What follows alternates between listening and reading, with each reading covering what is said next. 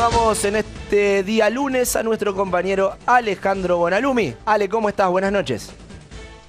¿Cómo les va? Muy buenas noches para todos. Una semana importante. A ver, importante porque comenzó con una leve baja de tasas que hizo subir al dólar. ¿eh? Esta puja permanente, tasa dólar, hoy le tocó bajar un poquito la tasa, no demasiado, pero es una señal, veremos si se profundiza en el tiempo, y por lo tanto subió el dólar varios centavos, 15, 15, 15, 20 llegó a cotizar en el día de hoy el oficial, el blue un poco más arriba. El otro dato es que el miércoles se define en el Congreso, en el Senado, lo que supuestamente el gobierno está convencido que va a lograr, que es la sanción de la ley para pagarle a los buitres y terminar con esto, aunque todavía queda un camino por transitar que no va a ser del todo sencillo, no solamente por el Senado, sino también en los Estados Unidos.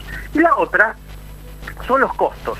Los costos no solamente para instalar un negocio, un comercio, sino los costos en general. A ver, es demasiado alto en Argentina el costo laboral, que no es pagarle al empleado, es lo que paga el empleador como aporte por ese empleado, es muy alto. El costo financiero no es el movimiento de plata, es cuánto le cuesta a usted mantener una cuenta bancaria, todo lo que significa.